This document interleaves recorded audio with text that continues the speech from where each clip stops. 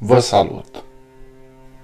Planul de victorie al Ucrainei împotriva Rusiei Zelensky a ales să prezinte planul său de victorie președintelui Biden prima oară datorită rolului critic pe care Statele Unite îl joacă în susținerea Ucrainei, atât militar cât și diplomatic. SUA este cel mai mare furnizor de arme și sprijin financiar, iar sprijinul continuu al Washingtonului este vital pentru succesul Ucrainei. Cele patru puncte din planul lui Zelensky, securitatea militară, presiunea diplomatică asupra Rusiei, tragerea la răspundere pentru crimele de război și reconstrucția economică sunt elemente cheie pentru a înfrânge Rusia. Consolidarea militară va permite Ucrainei să-și apere teritoriul și să lanseze contraofensive eficiente. Presiunea diplomatică intensificată va izola Rusia pe scena internațională, forțând-o către negocieri. În plus, responsabilizarea liderilor ruși pentru crimele de război nu doar că va oferi o formă de justiție, dar va descuraja acțiuni similare în viitor.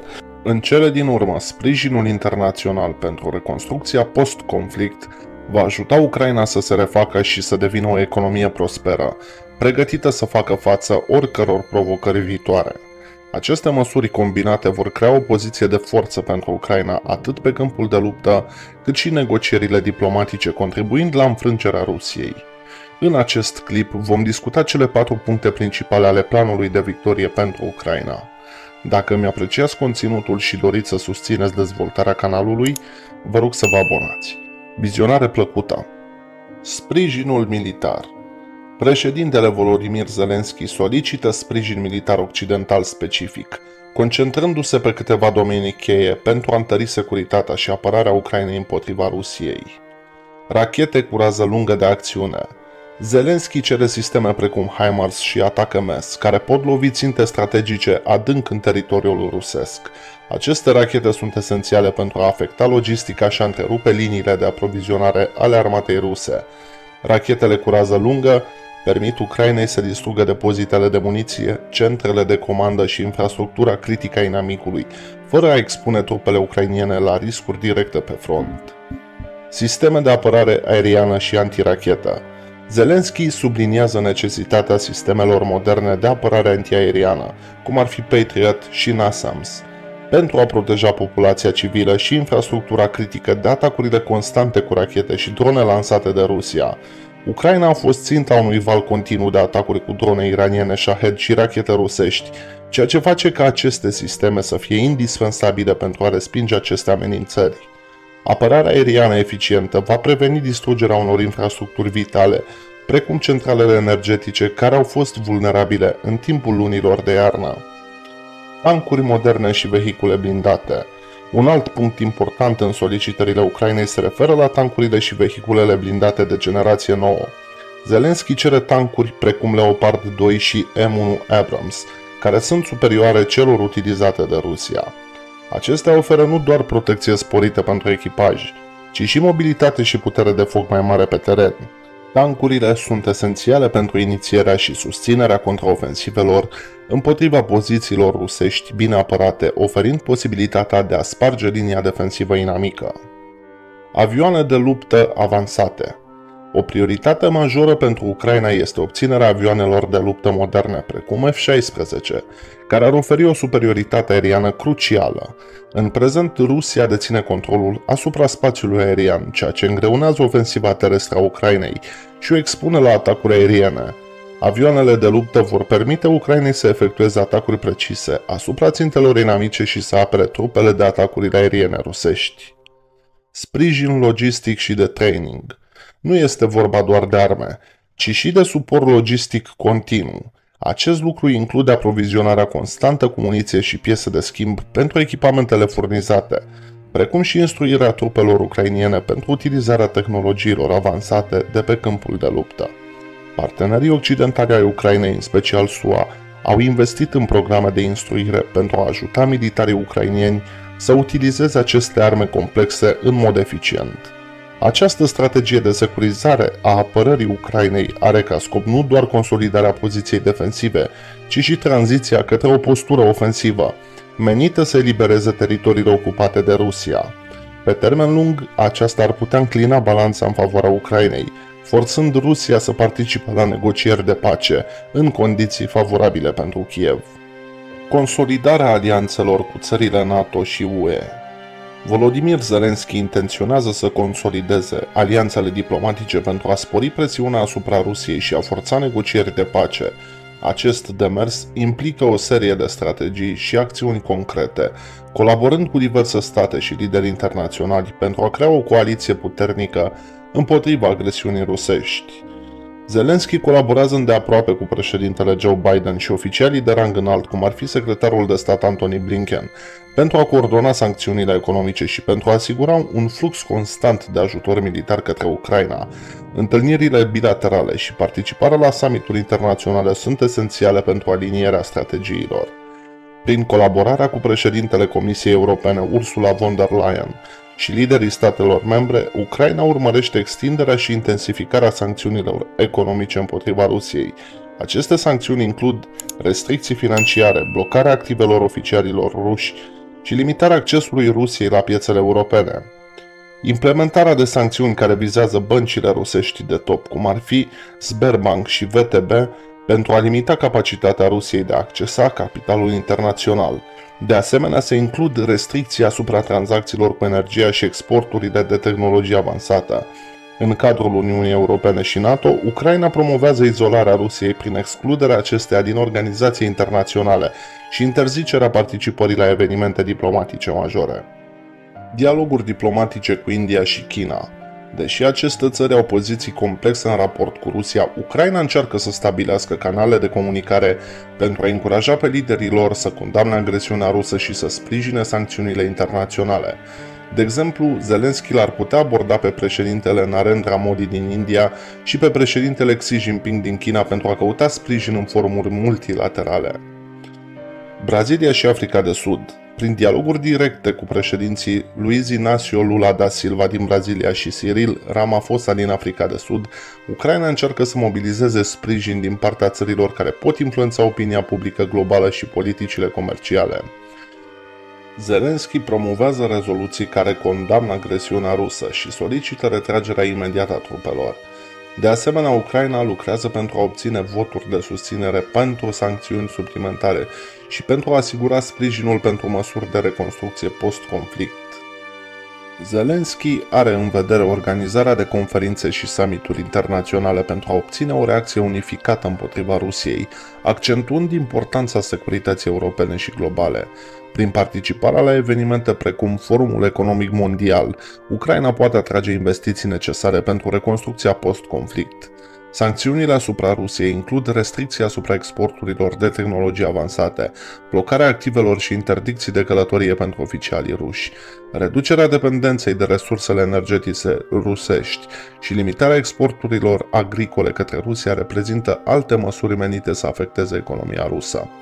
De asemenea, Ucraina se concentrează pe combaterea dezinformării rusești prin campanii de contrainformații și cooperarea cu mass media globală pentru a asigura o informare corectă despre conflict. În paralel, Zelensky colaborează cu ONG-uri pentru a documenta crimele de război comise de Rusia și pentru a sprijini procesele judiciare internaționale împotriva celor responsabili. Tot aceste organizații contribuie și la reconstrucția rapidă a infrastructurii și oferă ajutor umanitar populației afectate. În contextul negocierilor de pace, Zelensky colaborează cu mediatori internaționali precum Germania și Franța, care au jucat un rol cheie în facilitarea dialogului între Ucraina și Rusia. Implicarea unor state precum China poate oferi o platformă neutră pentru negocieri. Pe lângă negocieri, se discută despre desfășurarea misiunilor de pace sub egida ONU, pentru monitorizarea respectării acordurilor și asigurarea păcii pe termen lung. Agenții internaționale precum OSCE sunt implicate în verificarea respectării angajamentelor asumate în cadrul acestor negocieri. Prin consolidarea alianțelor diplomatice, Volodymyr Zelensky urmărește să creeze o coaliție internațională puternică, care să exercite presiune constantă asupra Rusiei, să izoleze agresorul pe scena globală și să faciliteze negocierile de pace în condiții favorabile pentru Ucraina. Aceste eforturi implică o colaborare strânsă cu lideri și state cheie, implementarea de sancțiuni economice severe, mobilizarea sprijinului diplomatic și militar, precum și utilizarea platformelor internaționale pentru a promova o rezoluție justă și durabilă a conflictului. Răspunderea Rusiei pentru crimele de război comise în Ucraina se concentrează pe aducerea în fața justiției a liderilor ruși responsabili, cum ar fi Vladimir Putin, Sergei Shoigu și Valery Gerasimov. Aceștia sunt considerați vinovați pentru ordonarea invaziei și pentru atacurile care au vizat civili. Tribunalul Penal Internațional joacă un rol esențial în investigarea acestor crime, iar Ucraina, alături de aliații săi, a cerut emiterea de mandate de arestare și aducerea vinovaților în fața justiției. Aceste mandate au fost deja emise, iar cei răspunzători de crime de război teoretic nu mai pot intra în țări semnatare. De asemenea, Ucraina pledează pentru crearea unui tribunal special, care să judece crimele de agresiune, similar cu tribunalele internaționale care au tratat conflicte majore din trecut. Pe lângă procedurile judiciare internaționale se urmărește și confiscarea activelor din Occident deținute de oficialii ruși implicați, fondurile urmând să fie utilizate pentru reconstrucția Ucrainei. Țări precum Statele Unite, Regatul Unit și statele membre ale Uniunii Europene au început deja să înghețe bunurile oligarhilor ruși și al oficialilor apropiați de Kremlin. Această confiscare ar putea deveni permanentă și ar servi nu doar ca pedapsă economică, ci și ca o modalitate de a contribui la refacerea infrastructurii ucrainiene distruse. Ucraina colaborează activ cu organizații internaționale, cum ar fi Human Rights Watch și Amnesty International, pentru a documenta crimele de război comise, oferind dovezi pentru viitoarele procese. Tragerea la răspundere a liderilor ruși nu are doar o semnificație legală, ci reprezintă și o acțiune simbolică de reafirmare a dreptului internațional și a justiției globale. Astfel de măsuri contribuie la restabilirea încrederii în sistemul internațional și asigură că liderii care comit atrocități vor plăti pentru acțiunile lor.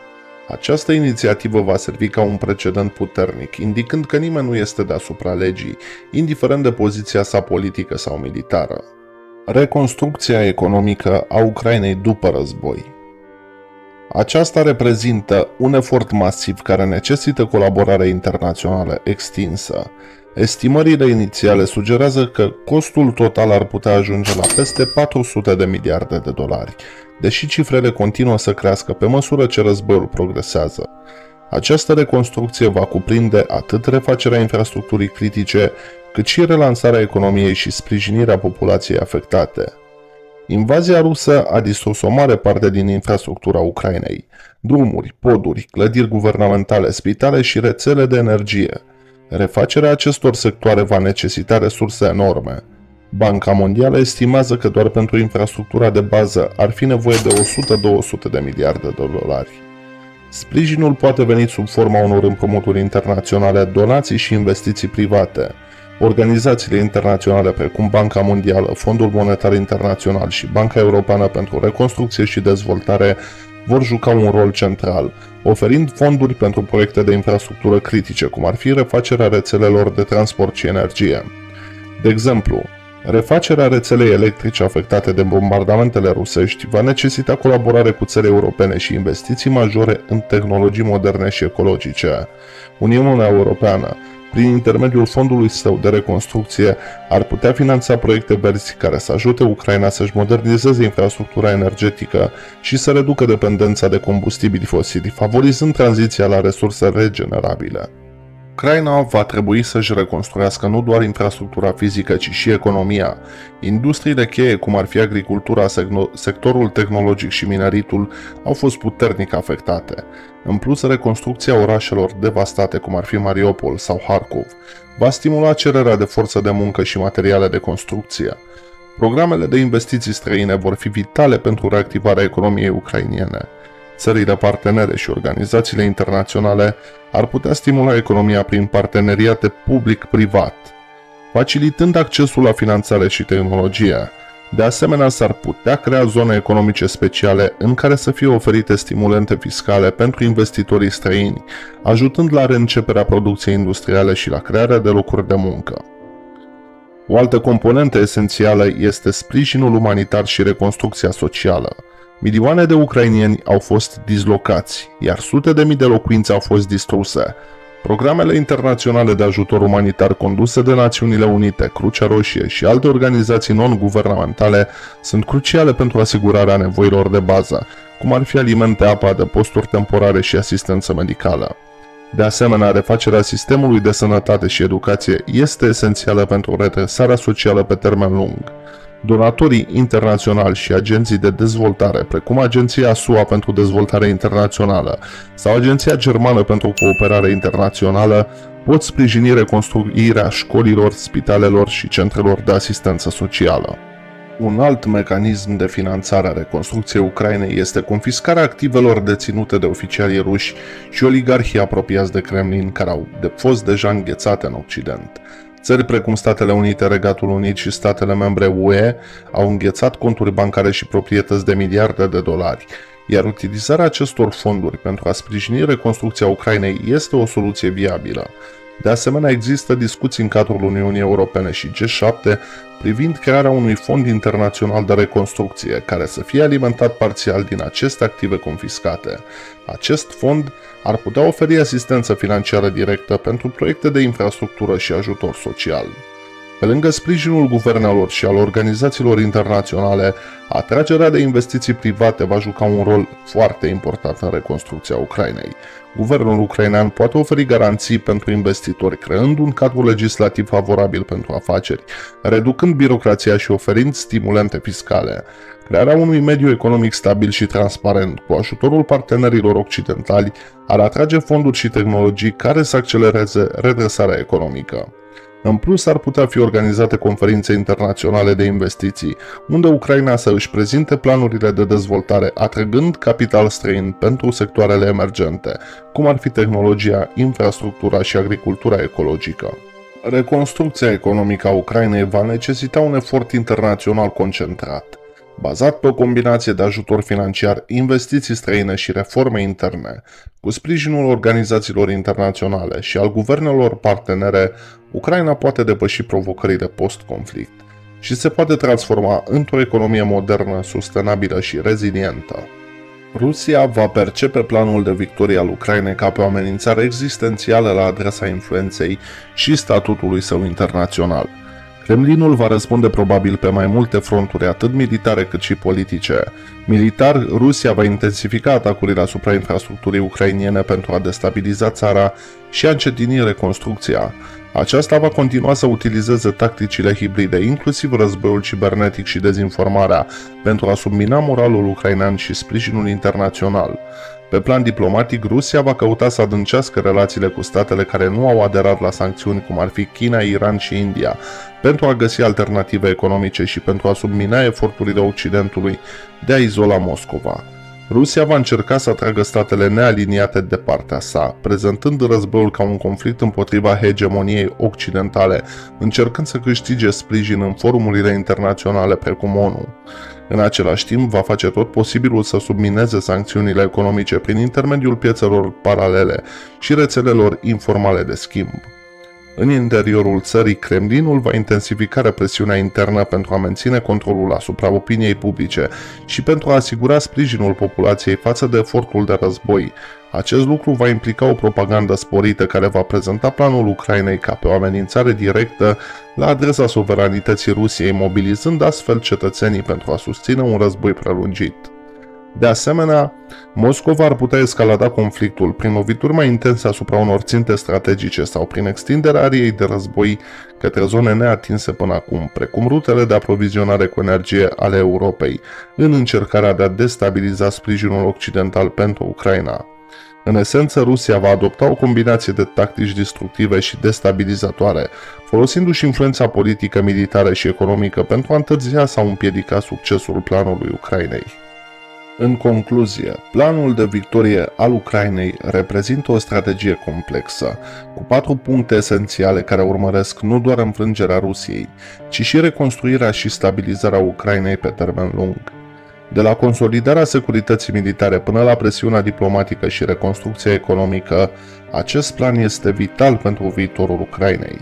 Cu sprijinul partenerilor internaționali și o abordare strategică, Ucraina speră să obțină nu doar pacea, ci și o redresare completă.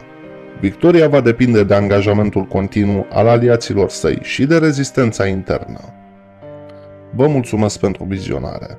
Dacă mi-apreciați conținutul și doriți să susțineți dezvoltarea canalului, vă rog să vă abonați. Pe data viitoare!